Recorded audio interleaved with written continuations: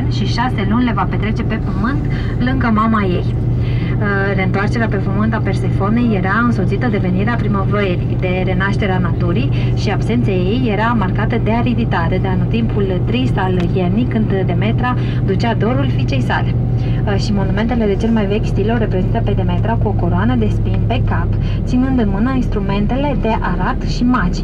Și în Grecia antică macul era un simbol al fertilității, iar semințele acestuia erau folosite ca un ameliorator al sănătății și vigorii. Vedem din nou pe partea stângă Riviera Olimpului.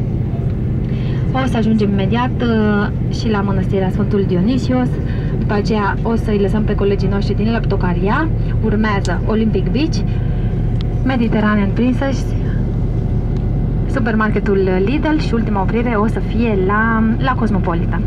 Drum bun să, să avem, vă las să vă bucurați de, de peisaje.